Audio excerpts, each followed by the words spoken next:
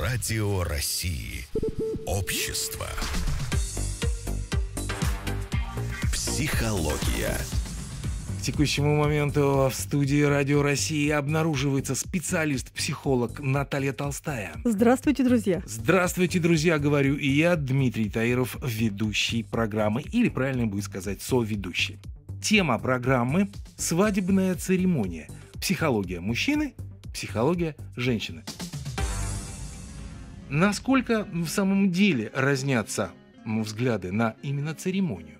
Чтобы наши слушатели не превратно нас с вами не поняли, речь идет не о факте обручения, о факте самого момента, чтобы женись на мне или выйди за меня замуж, а от церемонии как таковой. То есть мы прошли что... через знакомство с родителями, да, через стресс ухаживания, да, все, да. кольцо подарено, и уже вот невеста здесь... и жених уже подали заявление, Именно мы знаем так. дату, и дальше начинается Возникают ли какие-то разногласия? На самом деле, видят ли себя по-разному мужчины и женщины? В данном случае Совершенно же, верно. и невесты. Не буду голословной, Вам потому слово. что в этом году я женила свою э, дочку, да, была у нас свадьба, большая церемония, и мы никак не участвовали. Ни мы, ни родители с той стороны, потому что дети сказали, праздник наш, жених будет делать по своим силам, мы сделаем как сделаем, поэтому просьба не осуждать, ну и не лезть. И мы до последних двух суток даже не знали, будет ли у нас автомобиль с кондиционером, будет ли хотя бы одна бутылочка шампанского у ЗАГСа. Совершенно ничего не знали, ничего не было, мы узнали за сутки, все купили. Кого больше беспокоит, мужчину или женщину? Наличие машины с кондиционером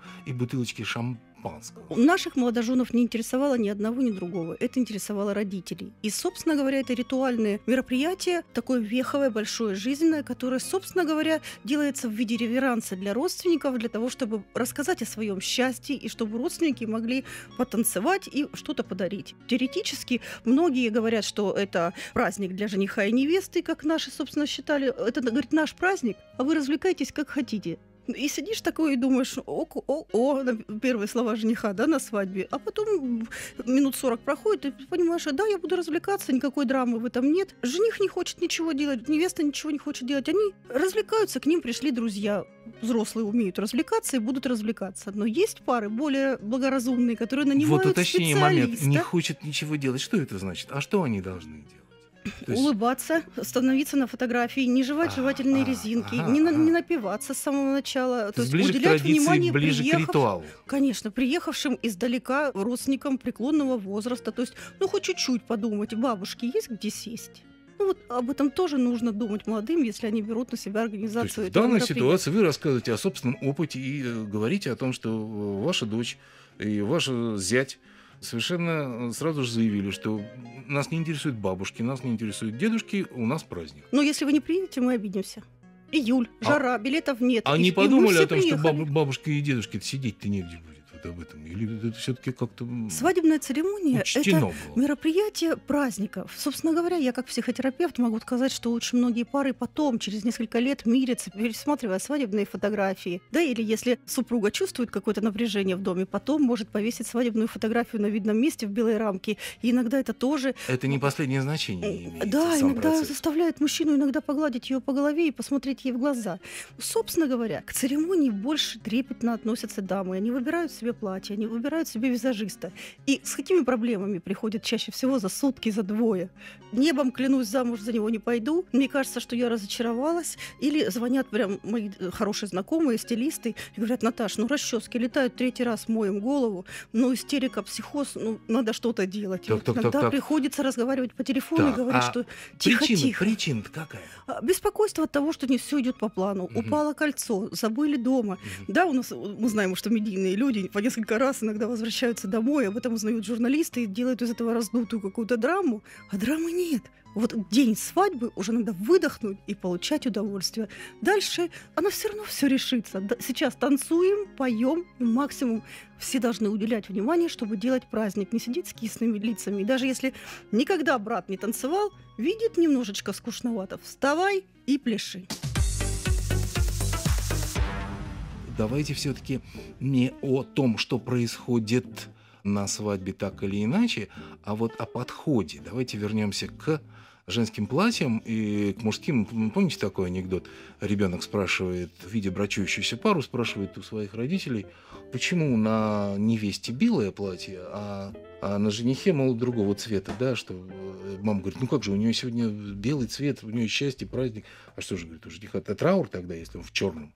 Вот, Логика. вот, да, элементарные какие-то такие вещи. В насколько идеале- современная молодежь, насколько современные молодые люди, вот отличается мужское и женское. Вот именно на этом как-то хотелось бы В идеале, если любит мужчина и понимает, что для женщины это важно, он сказал, милая, занимайся, занимайся, я буду участвовать в Ага. подготовке, я буду учить танец, я схожу, попробую меню, А, но пусть будет как ты хочешь. танец, это это, тоже не, не атрибут вариант. такой важный очень, да? Какой Конечно. танец, танец жениха и невесты. Жених, А невеста, много вообще... э, парень с мамой, она с папой. Это всегда вызывает слезу нашу скупую взрослую. Ага, с родителями. танец. Конечно. А вообще, что-то изменилось по сравнению с тем, что было, ну, 20-30 лет Конечно, назад? сейчас не сажают на медвежью шкуру, не пекут караваи, сейчас не выкупают невесту вот так вот прям с, с баяном, со всеми делами. Сейчас стало более современное. Даже за третьим Можно сказать, более кольцом цивилизованно или просто меньше традиций? меньше То есть традиций. тради- Дети не сама хотят. по себе традиция становится иной. Я хочу, чтобы меня на тачке покатали и бросили в Буду на второй день, а дети говорят, не надо собирать на девочку, на мальчика, не надо ничего этого К- красиво в, ресторане посидели, мы уехали в путешествие, вы сколько хотите, столько и сидите. Вот так сейчас. И наоборот, у меня есть еще один пример. Молодой человек никогда не был женат, и он говорит, я хочу свадьбу, я хочу большое мероприятие, я хочу невесту в белом платье, которая уже э, бывала уже замужем. Она говорит, может быть, поскромнее. Нет, нет, нет, я единственный раз буду жениться, я верю в это, и давайте сделаем все как надо для бабушек, дедушек, мам и пап. А вот интересный момент прозвучал. Вы сказали, что я один раз буду жениться. Сейчас это уже становится такой своего рода редкостью, да?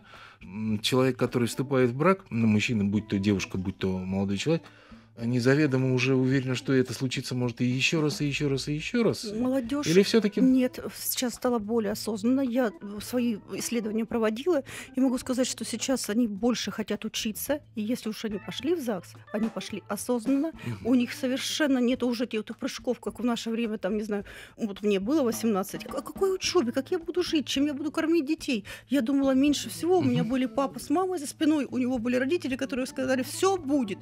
А сейчас дети говорят, спасибо большое, мы всегда рады вашей помощи. Но э, жених, который говорит о том, что я должен позаботиться о том, чтобы у меня было образование, чтобы я прокормил семью, он более логичный и осознанный, чем, может быть, даже мы в том веке. То есть мы что извлекаем из э, услышанного и вами рассказанного? Большой разницы в подходе к осмыслению того, что собой является свадебная церемония, не наблюдается. Да? То есть если молодой человек дал согласие на уровне совершенно уже таком... Это она дала согласие, он ее как бы берет. э, Нет, я имею в виду, дал согласие на вот такую свадебную церемонию, вот такого настоящего традиционного типа, потому что кое-кто говорит, ну к чему это вот так много всего, давайте как-то попроще. Такое же тоже Да, да, из экономии. И э, пандемия нас научила, что если сильно хотят пожениться, пришли, на лестнице паспорта отдали. А гадость пьем из экономии хоть Да. поутру, да на свои, да? Однозначно. Понятно. Получается так, что у девушки просто больше точечек и каких-то маленьких секретиков. Вот это вот нужно, да-да, здесь вот что-то подкрутить, здесь нужно что-то поднадеть, здесь должно блестеть.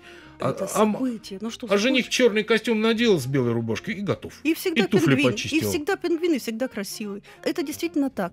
И тем не менее различия между а, отношением к свадебной церемонии со стороны мужчины и женщины обнаруживаются. Свадьба – это праздник для женщины. И если это вовремя понять, то все автоматически сразу становится Ты можешь стать и праздником и места. для мужчины, правильно? Конечно, ты просто участвуй, э, возьми вазелин для губ и хорошее настроение, и немножечко валидола на случай, если будут непредвиденные какие-то ситуации. И просто любите друг друга и понимайте, что в этой жизни любовь, удача, здоровье, благополучие совершенно не зависят от этого дня, но он может его очень раскрасить и помочь всем родственникам очень быстро перезнакомиться. На этой оптимистичной ноте, я думаю, мы и закрываем сегодняшнюю тему. Вы услышали много полезного, яркого и интересного. И, возможно, приобрели новый взгляд на хорошо известные вам вещи. Наталья Толстая, Всем любви и добра! Дмитрий Таиров, ну, мне ничего больше не остается, как присоединиться к этому замечательному пожеланию. Любви и добра. До новых встреч! Психология,